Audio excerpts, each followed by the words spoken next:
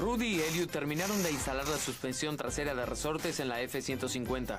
Me gusta cómo se transforma con los grandes amortiguadores, 40 centímetros de recorrido. Están unidos a los resortes. No puedo esperar por colocar los guardafangos anchos y probar esta cosa. De hecho, coloquémosle las ruedas, veamos qué puede hacer. Las ruedas de fábrica no funcionarán, así que las reemplazamos por neumáticos de alto rendimiento de 93 centímetros. Quiero ver cómo funciona la suspensión y cómo reacciona cuando encuentra baches y desniveles. Hay todo tipo de trucos de ajuste que puedes hacer para este tipo de suspensión. Pero no lo sabes hasta que pones tu pie en el acelerador y ves qué tipo de reacción obtienes. Cuando mejoras la suspensión y le colocas neumáticos más grandes, siempre preocupa la falta de potencia. A esto lo llamo la prueba spot.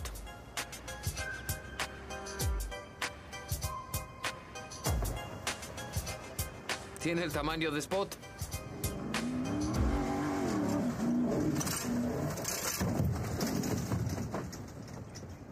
Eso fue divertido. Viejo, en general, estuvo bien. Definitivamente debo afinar los amortiguadores, pero tenemos que subir esta cosa. Al menos sobre Spot. Quiero decir, no debería ser muy difícil de lograr. Necesitamos mucha más potencia y un salto mucho más grande. Cuando regrese llamaré a Justin y le colocaré un gran turbo, viejo.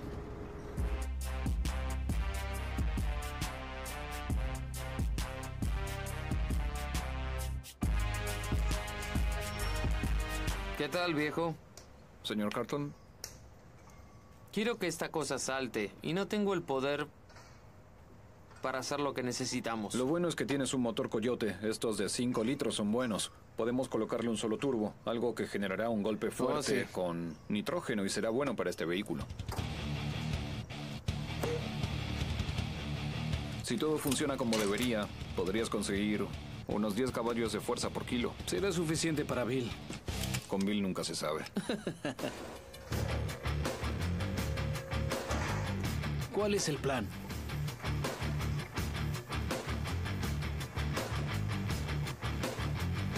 Bien, empecemos a desarmar el escape. Como lo uniremos a las válvulas, es más fácil usar las bridas de fábrica y construir a partir de eso. Lo que haremos será cortarlos y trataremos de guardarlos donde podamos usar estas piezas para poder usar las bridas de fábrica. Oye, Matt, debería estar listo.